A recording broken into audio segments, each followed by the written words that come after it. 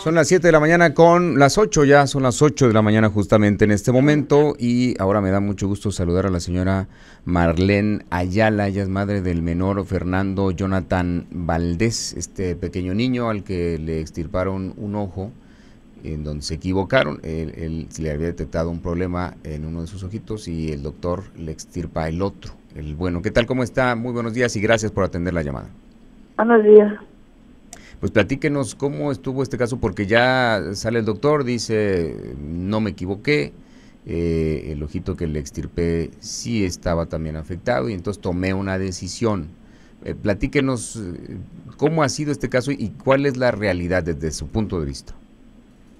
Pues efectivamente me sale el doctor y me dice que le quitó el ojo derecho, porque el ojo derecho es el que tenía un tumor. Sí que tenía un tumor detrás de la retina casi pegado al nervio. Pero, o sea, ¿cómo le va a quitar pues el ojo? Y, y aparte pues ese ojo tenía visión, con ese ojo sí miraba a mi hijo. O sea, de todos modos, aunque ese ojo haya tenido un tumor, no era para quitarse, era para revisarse, estudiarse y darse tratamiento, procedimiento. Claro. No, no era para quitarse y y pues no es justo porque aparte que nosotros nunca autorizamos una quitar el ojo de derecho. Eh, ¿Qué es lo que ocurre el día de la intervención? Platíquenos, cuando ya sale el niño, ¿qué es lo primero que le dicen a usted y a su esposa? Que ya no podemos ir, que ya está dado de alta el niño. Uh como no me lo voy a llevar, no me lo puedo llevar, aparte sin respuesta porque lo, por lo que le hicieron por la anestesia que tenía encima. Sí. Pues no, no, es justo. Entonces ustedes deciden dejarlo ahí y qué es lo que le dicen en el Seguro Social, qué es lo que les comentan. Pues no, me dirijo yo a las autoridades del seguro, pues sí. Y me digo pues que me dieron de alta, yo no me voy a ir. Me dice, no señora, por eso no se preocupa, aquí se va a quedar. Pues sí, pero otra vez hicieron otra vez papeles y cosas para que me quedara, pues porque ya me habían dado de alta. En este momento, entonces su niñito no puede ver. No, ya no ve a mi hijo. ya no ve y lo, y lo peor del caso porque todavía tiene el tumor en el ojo izquierdo. Pero, ¿por qué le dicen que tomó esa decisión el doctor? ¿Por qué cambia si el, con el otro ojo sí veía? ¿Por qué decide cambiar y, y en ese momento, según él, ¿verdad?, tomar una decisión? Porque dice que no se equivocó que porque él le salvó la vida al niño. Yo le dije, doctor, me supongo que la, la misión o la visión de usted es conservar la vista, le digo. Pues sí, pero ante todo está la vida, me dice. Ya me dice, las gracias me deben de dar, dice, por haberle salvado la vida, me dice todavía. ¿Cómo le voy a dar las gracias? Le dijo mi esposo. Hasta que no me compruebe, le dijo, entonces a lo mejor le llevo a dar las gracias, le dice mi esposo. Pues sí, porque pues no había ni un tumor ahí en la resonancia ni en la tomografía, nunca apareció un tumor. Y de hecho, pues el IMSS dice que ya ten, que, que tiene la enfermedad en los dos, que tenía la enfermedad en los dos ojos, cuando ni siquiera ha salido el resultado de patología que diga que sí o que tiene o no tiene. O sea, ustedes tienen todos los estudios donde, en donde se demuestra que ese ojito, el que le extirparon, pues era el bueno. Sí. Tengo resonancia y tomografías y las, pues, las notas de la oncóloga que siempre lo trataron puro ojo izquierdo.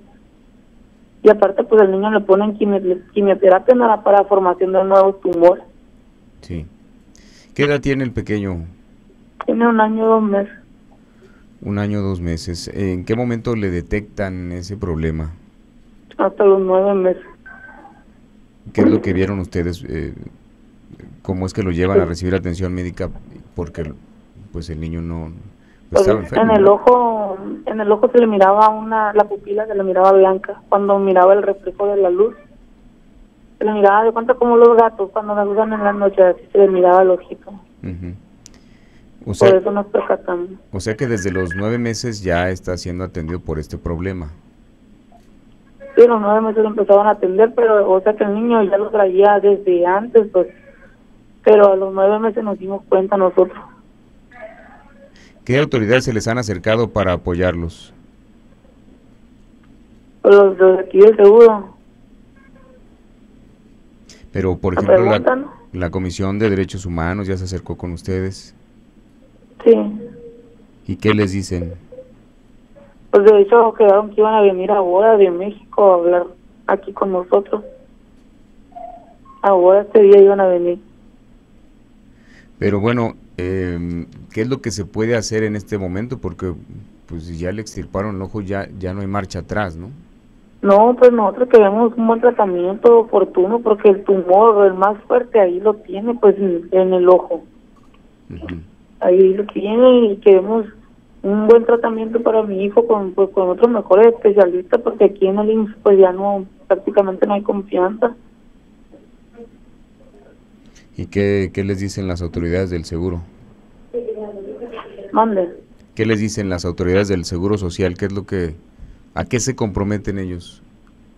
Pues que si le van a dar tratamiento y lo van a atender bien. Pues sí, pero yo quiero tener varias opciones de saber en qué parte, pues, en qué parte, pues, lo, lo puedo llevar. Pues me interesan varios, la, la decisión de varios doctores, no nomás nada aquí los, que digan el IMSS. ¿Qué otras autoridades los están apoyando, aparte de derechos humanos, el, el, gobierno, eh, la presidencia municipal? Pues no. ¿Ninguno no se le ha acercado el, gobierno del estado por parte de presidencia municipal para apoyarlos y ver qué es lo que necesitan? Nosotros ¿Cómo es lo que, es lo, que necesitamos nosotros aquí o cómo? No, ¿qué es lo que necesitan para poder, eh, pues que sí les, se les brinde la ayuda? Porque usted bien lo menciona, eh, lo que quieren es que se le dé la atención adecuada al pequeño, ¿no? Así es. Y sí, eh, por, en el caso, por ejemplo, del gobierno del estado o del municipio, ¿no se han acercado con ustedes para apoyarlos y presionar? Pues no.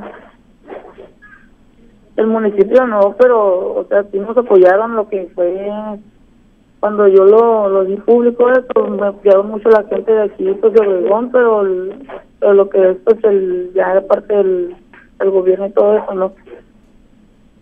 En este momento el niño sigue internado. Sí, aquí está. ¿Ustedes lo pueden ver? ¿Tienen acceso a él? Sí, sí, yo, yo aquí duermo con él, aquí estoy con él todos los días. ¿Y cómo reacciona? Pues se desespera, pues en un momento, pues los primeros días sí eran traumantes porque él no lloraba mucho, se levantaba y, y empezaba a llorar y ya pues ahora ya empieza a buscar con sus manitas a ver qué agarra alrededor. ¿Tiene usted más niños, Marlene? No, no, es mi único hijo. ¿Es su único niño? ¿Es su primer niño? Sí. Sí, así es. ¿Y siente que pues hasta el momento lo que le han prometido sí se lo han cumplido en el caso del Seguro Social? No lo podemos Mándeme, señor. ¿Sí le han brindado toda la ayuda que usted necesita para su niño? Aquí, sí, sí sí pues sí, pero pues pues necesito saber otras opciones. Lo que quiere es que le den alternativas, que, que, le solucionen pues el problema. Usted no está pidiendo que la indemnice ni nada de eso, lo que quiere es que le solucionen el problema.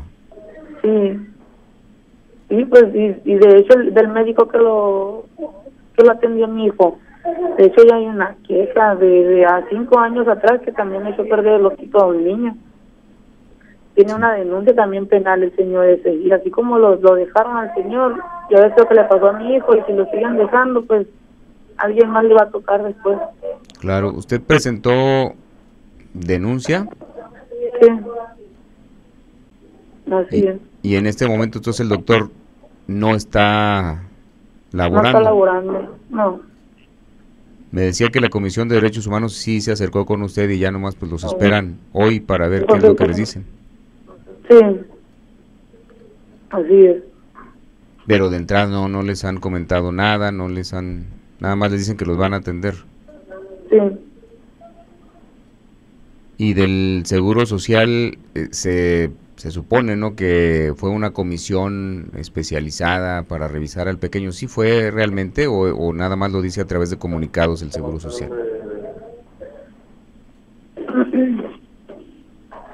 Es que, es que casi no lo oyo porque ando media enferma y casi no lo puedo escuchar. ¿Me puede repetir, por favor? Sí, eh, de parte del Seguro Social han dicho por medio de comunicados que enviaron personal especializado en oftalmología para atender al niño. ¿Esto es cierto? Pues supuestamente lo enviaron, pero yo no estaba, yo no, yo no vi porque a mi hijo lo, lo revisaron, porque eso lo revisaron en la, en la noche, en la madrugada, a las 2, 3 de la mañana. Y otro día me dijeron pues que ya lo habían revisado y todo, pero a mí no me consta que ellos lo hayan revisado. Eh, ¿Se ha acercado algún otro tipo de asociación, o sea, alguna asociación civil que quiera también apoyarla? Porque si la dejan sola, pues esto al rato se va a olvidar y, y desafortunadamente, como ocurre en nuestro país, ¿no? No pasa nada. Pues sí. ¿No hay nadie más que, que la esté apoyando? No. No, no hay nadie más. Eh, también dice el Seguro Social que ya se comprometió a darle servicio de por vida al niño. ¿Es así? Pues sí, lo hizo público eso, que ya tenía el, el servicio el de por vida. ¿Pero le dio a usted algún documento que avale eso? No, no, a mí no me ha dado ni entregado ni un documento todavía.